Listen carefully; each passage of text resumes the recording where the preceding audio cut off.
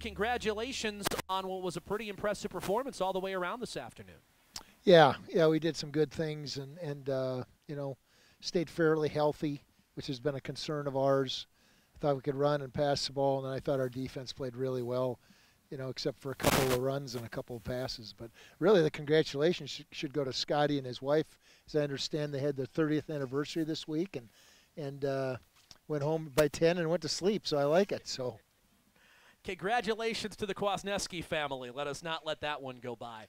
Uh, you mentioned the health, and we talked to Logan Backus earlier. To have number 12 back on defense, there's more than just numbers to having Logan Backus on the field. Yeah, he's he's a great football player, but an even better leader and knows the defense so well.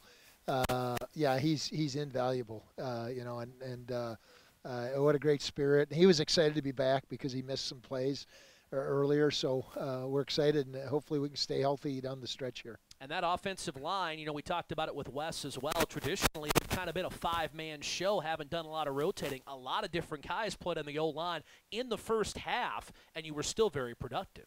Yeah, yeah. We, we Coach Eck does a great job of of getting the best guys in, in position. So guys have played multiple positions in terms of you know, uh, uh, figuring out the combination. And we had one guy get dinged a little bit. We replaced him, and his replacement was hurt and uh, and nothing major, but the, you put in our third guy, and I, I thought Jason Titus did a good job. And I was really excited to see our second string offensive line uh, move the ball down the field with Amar in the backfield and score a touchdown until late in the third quarter, the only offense Youngstown State had, McLaughlin had those two back to back runs that put him in field goal range. Other than that, it seemed like every drive Youngstown State had was a three and out, whether they tried to throw the football, tried to run outside, tried to run inside. Your defense seemingly always had an answer. Yeah, they, they did. And, and uh, you know, both those long passes.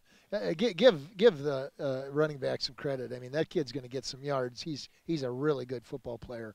Uh, but the two passes, I thought we had opportunities to make plays in the second half, and uh, I thought our, our, our, D line did a great job of getting after their quarterback and making him run at times. So I'm really excited about what our defense did today. I think it is uh, unique that we seemingly have this conversation uh, every time you get a big win on the road. You won this game 47 to 16, but you made nine penalties. You turned the ball over twice in Youngstown territory. Felt like it could have been more lopsided than it was. Yeah, no doubt. And and, and some of those penalties were were. Uh, you know, effort pen- penalties. Some are bonehead penalties that we were going to eliminate, and uh, I mean, we did something we never practiced. Uh, we should have got the ball. They ended up getting a touchdown after the we we we, we draw them off sides by making noise in the field. That was unacceptable.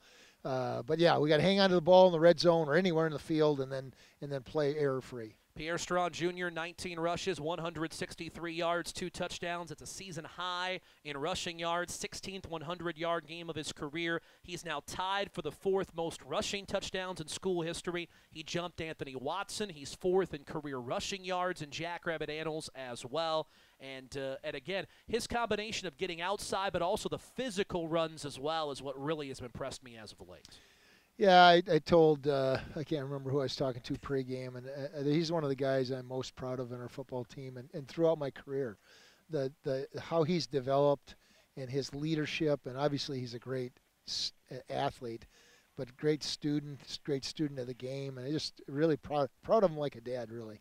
How about Rudy Voss and the impact he had with this offense today? Well, a great design. You know, Rudy is uh, hasn't had a lot of reps, but he can run the ball. He's he's an aggressive runner. So essentially, we had a quarterback, quarterback that was a wildcat type of situation, and and uh, had three big runs, I think at least, and the touchdown. You saw our team exploded on a touchdown our guys love Rudy Voss. Yeah, three rushes, 42 yards, and that score. And uh, defensively, Reese Winkleman early in the game, he has three tackles for loss on the opening few possessions, helped to set the table for your defense. Yeah, yeah. Eh, there are a couple things that I don't think they blocked him, but uh, why not make the tackle then? But uh, Reese is a really good football player. He's so much like Ryan Arith in the sense that he does things right all the time, and good things happen when you do that.